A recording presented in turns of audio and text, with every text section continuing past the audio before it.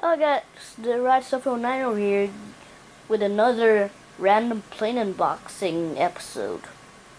So yeah, today we're going to choose a random model. Today we're unboxing the United 747 400. Gemini Jets as usual. So yeah. Mm. And it's just a regular model as usual and and the usual history and description. And you see them, um, and the model's also made at 2012. Now we're going to open it. So yeah, here's the plane and and I see it's the new livery since it has the Continental Continental logo.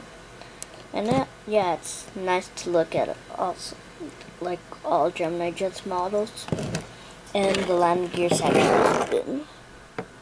Can't really see it, but if you have it, it, it will feel like spinning and you could actually see it. So yeah, that's it for today. Thanks for watching this.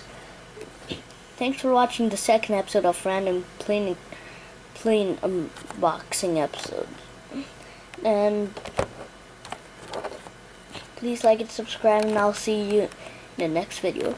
Bye bye.